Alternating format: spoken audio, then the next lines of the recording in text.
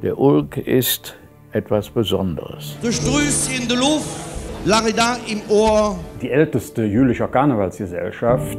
Seit meinem 15. Lebensjahr, also seit 40 Jahren, darf ich mit dabei sein. Herr Bürgermeister, 60 Prozent der Stimmen. Das gehört einfach mit zu meinem Leben. Ich habe äh, super Kindheitserinnerungen im Karneval. Freundschaft und aber auch Spaß an der Freude.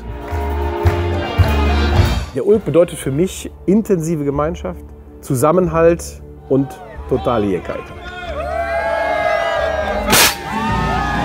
Fette Kanone! Rheinischer Frohsinn auf einem äh, sehr, sehr ordentlichen Niveau, was wir aber selber kreiert haben und das, was wir von unseren Ulk-Brüdern, die vorher den Ulk geleitet haben, mitgegeben haben. Und das ist der Ulk und das ist die Klasse und die Qualität, die wir haben.